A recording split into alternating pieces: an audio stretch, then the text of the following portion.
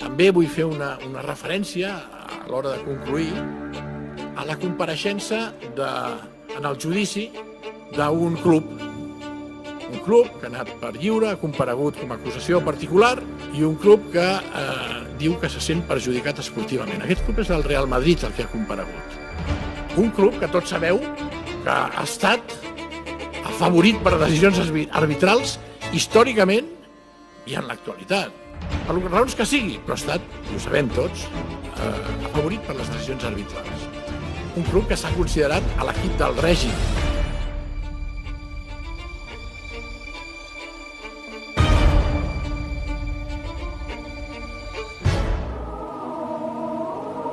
El gran estadio va a abrir sus puertas, pero antes, sobre su verde césped, el obispo auxiliar de Barcelona, doctor Jubañ, oficiará la Santa Misa con el acto religioso que es vivo sentimiento de espiritualidad en la hora de rendir homenaje a la obra humana, el ministro secretario general del movimiento, don José Solís Ruiz, inaugurará en nombre del jefe del Estado el estadio del Club de Fútbol Barcelona. Acompaña al señor ministro el delegado nacional de Educación Física y Deportes, señor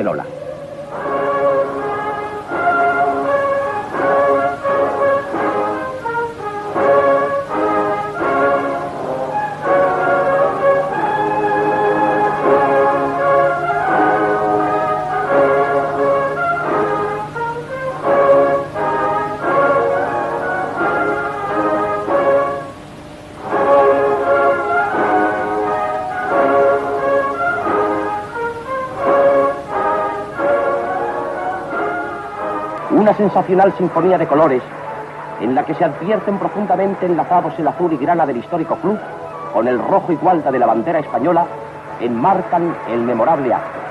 Es entregado a los miembros de la Junta Directiva para que rindan honor en el momento en que el presidente del Club de Fútbol Barcelona, señor Miró Sanz, alce a lo alto la bandera de España en señal de apertura del terreno de juego, al tiempo que el himno nacional saluda el rojo y gualda de la bandera que une a todos los hombres de España.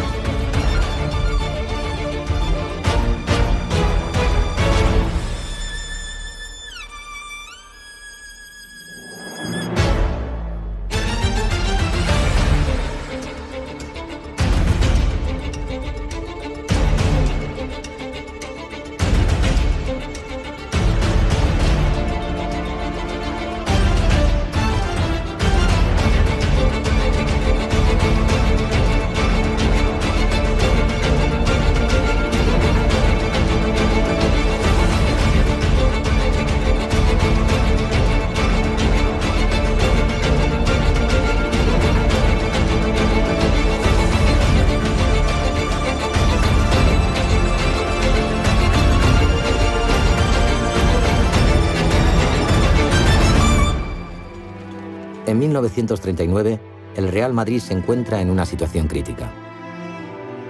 La sede social ha desaparecido en un bombardeo. Sus trofeos han sido robados y las gradas del viejo Chamartín se han deshecho para obtener madera. De aquella plantilla solo quedan cinco jugadores. El resto se han exiliado o han sido detenidos por los vencedores.